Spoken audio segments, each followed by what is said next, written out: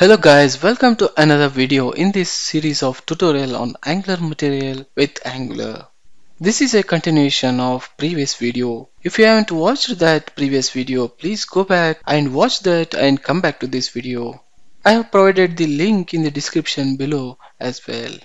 In the previous video, we have seen how we can add single selection and multiple selection buttons in our Angular material. There you might have observed that these toggle buttons are horizontal in nature. Those are placed side by side.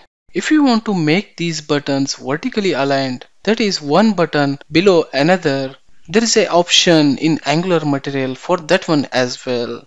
The only thing you need to do is you need to add the property vertical in the mat button toggle group.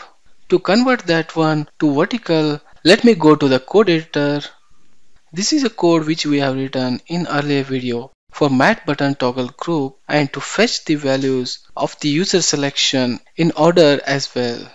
As I said, the only thing which you need to do is you need to add vertical property to this mat button toggle group. Just add that one to this group and save it and go back to browser to check whether it's working fine or not. As soon you come to browser, you can observe these buttons are vertically aligned now. So those are placed one below another, but the functionality will remain same. Only the orientation or the placement is differed from the previous one. That's it guys for this very short tutorial. Thanks for watching this. If you like this video, please click on like button, share it with others and subscribe to my channel.